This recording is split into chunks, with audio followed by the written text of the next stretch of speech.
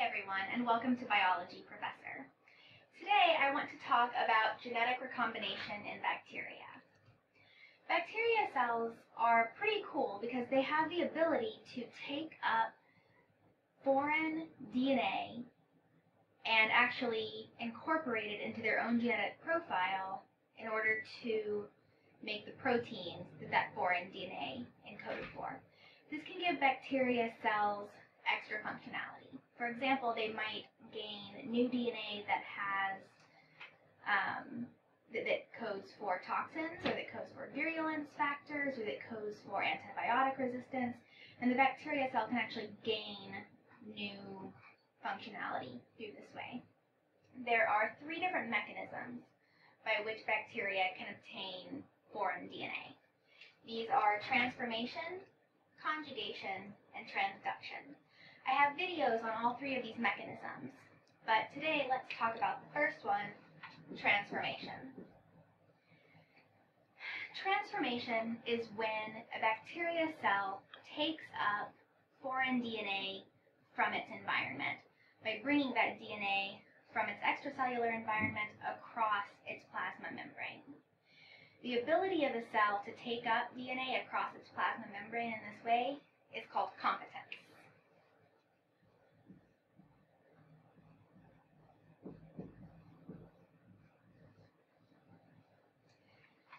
Types of bacteria are naturally competent in that they can do this process with ease.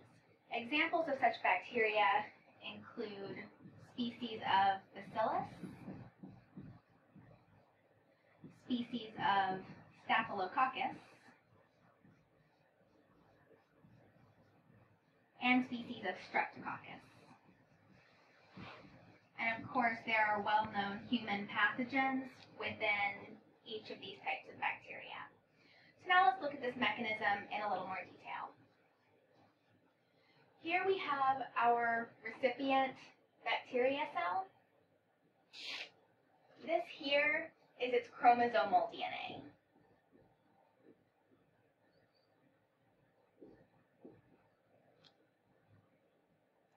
So this is the DNA that it has had um, since it was produced by replication of previous bacterial cells. But there might be foreign DNA in this cell environment. I'm going to draw this foreign DNA in red. This is DNA that is just going to be floating through the cell's environment. It might, for example, be from a previous bacteria cell that died and lysed, and pieces of its of this uh, donor cell's DNA are now just floating around the environment. The recipient bacteria cell can actually take this DNA across its plasma membrane so that now this DNA is inside the cell. Then, through the process of recombination,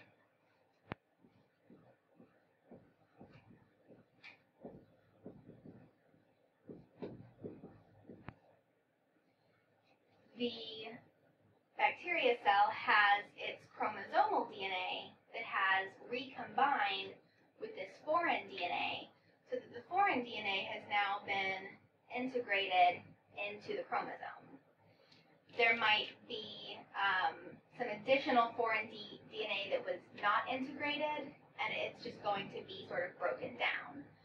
Also, the bacterial DNA that was replaced by this foreign DNA is also going to be broken down. And now we have this genetically transformed bacteria cell. This new DNA that is taken up can give it different functions. For example, there are species of E. coli that actually produce Shiga toxin. This is a toxin that they obtain from bacteria, the bacteria um, type Shigella. So Shigella produces Shiga toxin, but some E. coli cells can produce it too because they're able to go through this genetic recombination process. This DNA could also encode for virulence factors. For example, uh, one such virulence factor might be a capsule. If the bacteria can produce a capsule covering its outer cell wall, this may enable it to hide from a host's immune system. Um, and so this is why the process of transformation is very important to bacterial cells and that it can enable them to survive in different environments that they might not have been able